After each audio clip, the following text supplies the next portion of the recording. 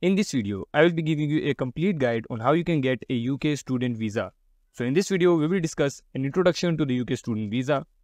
I will also give you the eligibility requirements, the documents that you need, the online application process, the biometrics appointment, paying the visa fee and how to go about it, waiting for the decision, arrival in the UK and your visa validation, and in the end, I'll give you some tips to increase your chances of getting your visa approved. So let's start with the introduction to the UK student visa. Before we discuss the documents, the requirements or anything else, we need to first understand what is the UK student visa. So UK student visa, also known as a Tier 4 general student visa, allows international students to study in the UK. So basically, a UK student visa allows you to study in the UK. So now let's discuss the eligibility requirements. To be eligible for a UK student visa, you will need an acceptance letter by a UK institution, your financial requirements, a proof of your English language proficiency, and a TB or tuberculosis test. Now keep in mind you have to meet all of these requirements. If you miss even one of them, you will not be eligible for a UK student visa. So now let's discuss the documents that are required for a UK student visa. The document requirements are as follows. You will need your passport and passport size photos, confirmation of acceptance for studies, CAS, from your institution, proof of your funds, academic qualifications, your English language test results if applicable, what this means is that if you're from an English speaking country, you won't need this English language test result. But if you're from any other country that does not speak English natively, you will have to give an English language test. Your tuberculosis test results, if applicable. And lastly, any other documents that may be required. Because sometimes for certain countries or for certain candidates, the visa authority may require some extra documents. Once again, you will have to meet all of these requirements in order to get your visa. If you miss any one of them, you won't be able to get your visa. So make sure to prepare all of these documents and make sure that you get legit documents and don't try to cheat in this section. So now let's discuss the online application process. The online application process is pretty simple. You have to go to the official UK government website to apply for a visa.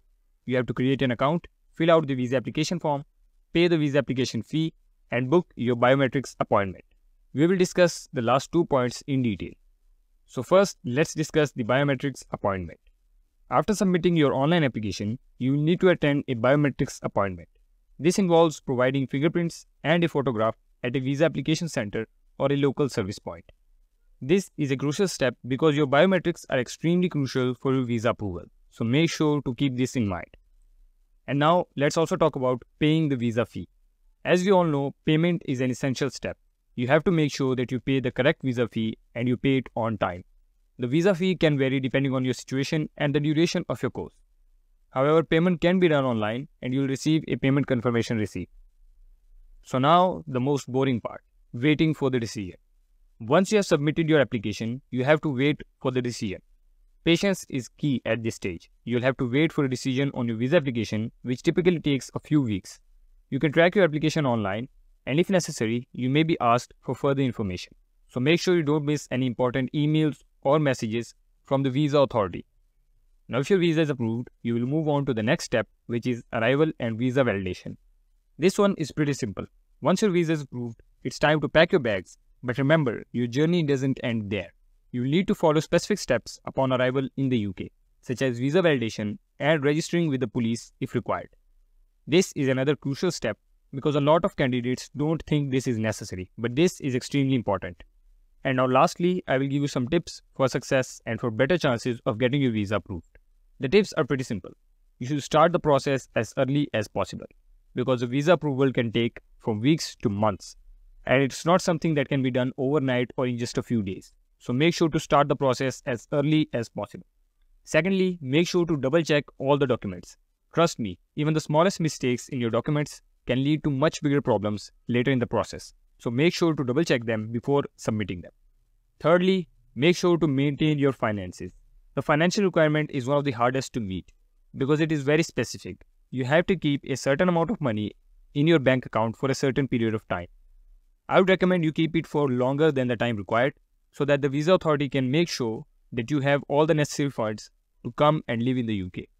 You need to also stay updated with the visa rules because they're constantly making changes to them every year. So make sure to stay updated on that. And lastly, you should seek professional advice if needed. This video is just a basic overview of the whole process and to give you an idea of what you can expect. But if you need professional help, you should definitely get some. Now that's it for this video. If you have any questions, make sure to leave a comment down below. If you enjoyed the video, make sure to give it a like and also subscribe for more.